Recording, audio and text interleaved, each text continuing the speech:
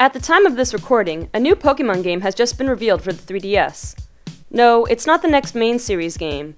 Remember back in late 2013 when there were hints of some kind of Pikachu detective game in the works? Well, it turns out that this game is going to be a reality, as Japan released its first teaser for the game, whose title roughly translates to Great Detective Pikachu The Birth of a New Duo. In the game, the player teams up with a special Pikachu to solve mysteries. While there are already many special Pikachu in the Pokemon universe, let's go back to October 2013 when this game was first hinted at. It was said that Pokemon Company CEO Tsunekazu Ishihara had started development on a game that would feature Pikachu, quote, in a bold way. Now let's fast forward back to the present day, where we can see from the trailer that Detective Pikachu is quite peculiar indeed. Not only is he shown drinking coffee, but he also speaks, not the usual pika pika, but he speaks Japanese, oddly enough with the voice of a grown man.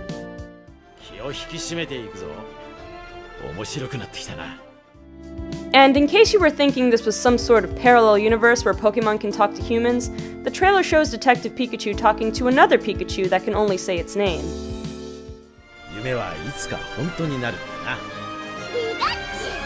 So this Pikachu not only talks, but has a voice that seems unfitting for a Pikachu.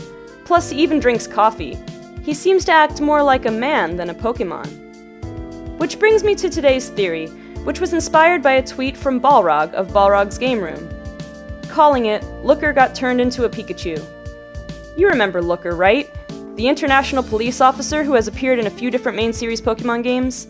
His most extensive appearance was in the post-game of X and Y, where you work together with him to solve a series of mysteries in Lumiose City.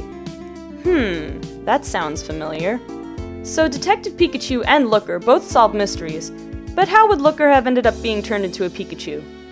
We don't really have a way of knowing at this point, but let's take a look at some examples of people being turned into Pokemon in the various Pokemon canons.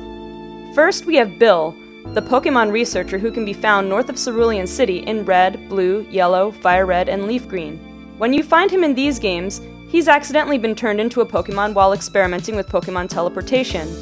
This was also shown to happen in the Pokemon Adventures manga. Next we have Ashichu. In episode 241 of the anime, Hocus Pokemon, Ash and friends meet a witch named Lily who claims to know a spell that allows humans to read the minds of Pokemon. At the end of the episode, Ash ends up being transformed into a Pikachu. The effect was only temporary, and Ash turned back to normal at the beginning of the next episode. There is also, of course, the Mystery Dungeon series of games, in which the player is turned into a Pokemon and sent to the Pokemon world to help save it in some way. This would be different from Detective Pikachu's world, though, because he works together with a human, whereas in the Mystery Dungeon world, humans are heard of but don't seem to exist. Finally, there are many Pokedex entries that mention people becoming Pokemon, such as Phantump, Yamask, and Kadabra. But these transformations tend to occur after the person dies, or in special cases if the person has particularly strong psychic abilities. These may not be the only examples, but it's enough to establish that there has been plenty of precedent for people to be able to turn into Pokemon, in the games and in other media. So it wouldn't be unrealistic to think that Detective Pikachu could actually be Looker. I would love for this theory to be true, but at the time of this recording, it's still way too early to either confirm or deny its validity. So for now, this episode of Sweet Speculation has been just that speculation. We'll just have to see if we get any new information as the game gets closer to release.